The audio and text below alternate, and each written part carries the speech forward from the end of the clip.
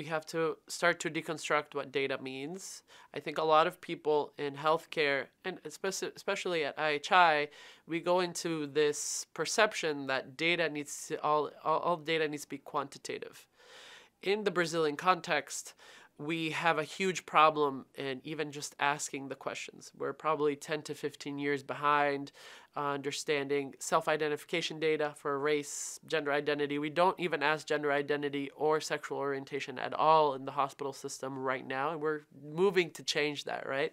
So there's systemic changes that are occurring at the same time, but we can't allow that to stop the equity work from happening.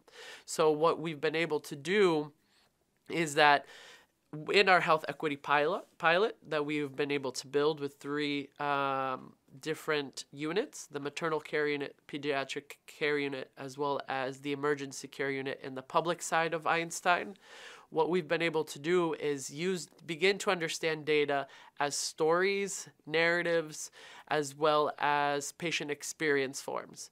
And we're building those systems right now where we're going to be able to stratify all of the data. We have data that's national data in Brazil that allows us to understand that it's happening in maternal care, it's happening happening in a bunch of different parts of the system. So we have the scientific eh, knowledge, but at the hospital and unit level, that data has never been stratified.